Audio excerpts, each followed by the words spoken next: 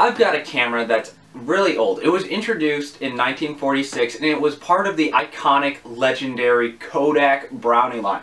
And yes, if you don't see it right here, what I'm talking about is the all-metal body Kodak Brownie Flash 620. This camera introduced back in 1946 was another generation of the Kodak Brownie for those around anything else.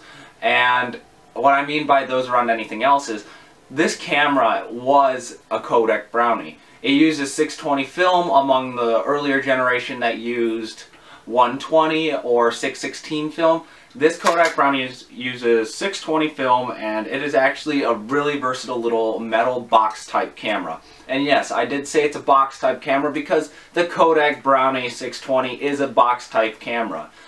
Back in the day, the Kodak Brownie camera allowed those who wanted to take pictures to take pictures and document the process, document time more affordably than it was prior to then. The Kodak Brownie was supposed to be the camera that they gave everybody. And in the past, the model, the first box type camera was given away to kids. And it's called the Brownie. The idea and the marketing ploy for that was to get kids hooked on photography at an early age so that they would continue consistently using Kodak products for the rest of time. This camera is just a very simple camera. It's a flash 620 so you have a flash that mounts to the top which you'll see in just a moment. And the camera itself is just it's got a switch. It tells you to uh, load it. The whole base comes out. It's very weird but we'll look at that in a minute. This Kodak 620 flash uses these weird flash bulbs. They're not like M3 flash bulbs where they were smaller in size. No, these are massive flash bulbs. And these are almost like a standard Edison bulb. And they are standard Edison bulbs, just filled with magnesium, I think. Is magnesium or aluminum inside of it? No, no, no matter. The flash bulb itself, I wouldn't look directly into the light because I put one of these inside of this lamp before just to see if it was the same and I looked directly into it and I hurt my eyes. Not because I have to wear glasses, but I mean it left a little bit of like eye burn where you see the little dot for hours on end. I saw it for the next two, three weeks. So don't be stupid. Otherwise, these things are actually pretty hard to come by and it's really cool that this thing uses that. The Kodak Brownie flash holder uses this standard flash holder box. It is in Kodak yellow. And as we open it up here, it uses the standard flash holder, which we just drop the bulb into. It looks like you're straight out of the past. So this Kodak Brownie flash is actually a really nifty little camera. Now, if you know it's in the yellow box, you know it's good. That was the motto that Kodak had, and it was the Kodak company's known way of making sure that people knew that what they were buying was Kodak. Well, this camera is actually really, really spunky little thing, and I hate to not have it. It's, it's a good addition to my little camera collection that I have, and I'm a huge Kodak guy. Hey, what's up, Brownie? Nothing. Nothing. I'm just a little camera. I like to take pictures. What I'm going to do now is I'm going to put some batteries inside this flash holder, see if it works, and maybe fire off one of these super incredibly bright flash bulbs so you can get a reference point of how, how bright it really is. Because I'm preparing for class right now, and I'm almost about to go into class, and I'm filming this before class, we're going to burn off one of these flash bulbs. Now, these are really hard to come by, so I have the opportunity to shoot one and have fun with it. Now, it uses the GE Photo Lamp number 22 bulbs, as well as the Westinghouse number 22 bulbs, and they're in their ancient packagings. Well, let's let's burn one. I attach the flash to the camera. I'm going to put another AA battery on the other, facing the opposite direction. Now we're going to stick the bulb in and I don't know how many times I'm going to do this until this ball flashes. But I'm going to just stand back and close my eyes. And we are going to fire. Three, two, one. Did you see how bright that was? That was incredibly bright. Well, now that we've burned a flash bulb and I've shown you it, now let's go into an overview of the camera and I'll show you all there is to do. The Kodak Brownie 620 camera.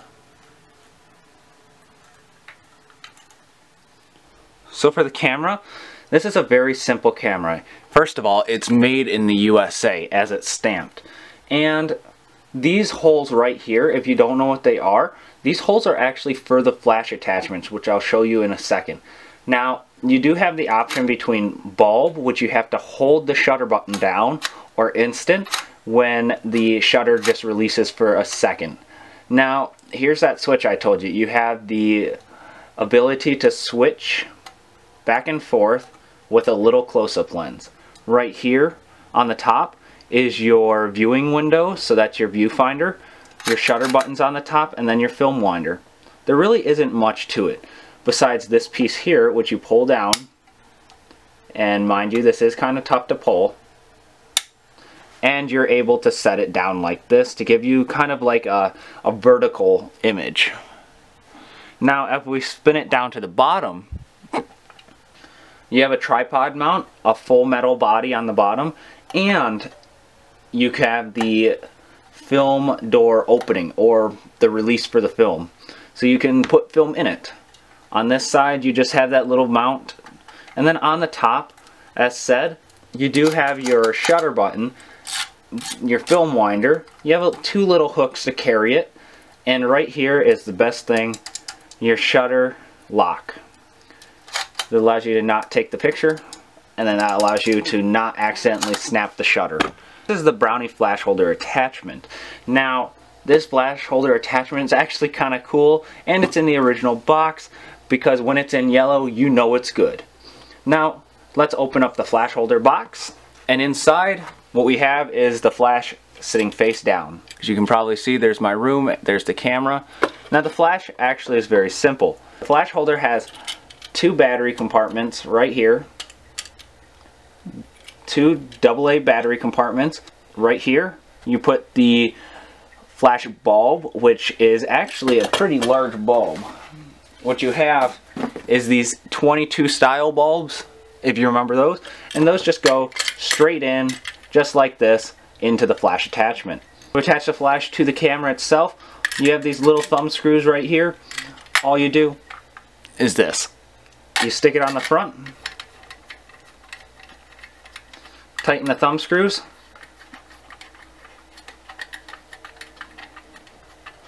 And you're able to take pictures with the flash. It just sits on the camera just like that. There's really not much to this camera. It's very a simple camera. I mean, it's a simple camera. What do you expect? To load the Kodak Brownie 620, you're going to need two 620 film spools, or you can use a 120 film spool as your loaded film and a 620 film spool as your take-up. Open up the camera. On the bottom you have the little switch here. You pull that and you know it's not going to open. What you do is from the top you pull up and it opens up in one straight motion. So kind of like this, pull up on the top and the whole unit comes free. Let's set the rest of the camera aside for the moment. The new spool. And what I'm going to do is usually this will be on this side where the old roll was after you shot it. We're going to move that over to the take-up spool side and lock it into place. I'm going to load the film in to where the loaded film goes, right here. There we go. And then, like a Hasselblad and many other roll film cameras, we're going to bring it over the back of the exposure window here, because this is what's going to get exposed. We're going to look for the large slit, load the film into it, and then wind it so it grabs some tension, just like this. Okay, usually around the first turn, I like to wind it to that point. What else you're going to do you're just going to drop it back in after the film's been loaded. Being careful not to destroy your film as you're doing that. Drop it straight down, lock it into place, and on the back side, we're just going to wind it. So there's my arrow. And right here, we're going to wind it until we see the number one. But first, we're going to see two little arrows. There's one, two. Don't pass it because it comes by really quickly. We see Kodak and then number one. And now we're ready to take our first picture. And that's how you load the Kodak Brownie Flash 620. Well, hopefully this video helps somebody out there. I mean, the Kodak Brownie Flash 620 is an absolutely nice little camera, especially when it was made and for its time. The camera itself is quite old and it shows its wear and tear throughout the years. And, I mean, it's a camera. All it does is capture time and emit that time to what is now the next generation in the future. But, I mean, all it is is capturing images. And it captures it on a little film slit that is made of plastic and will be saved for many, many years until somebody feels the need to throw it out and wasteful into the ocean. If it doesn't, I mean, at least you get the knowledge of how to use the Kodak Brownie 620 and you can pick them up for about $20. I mean, they're not super expensive and the full flash outfit, I mean, even mine only cost about $25.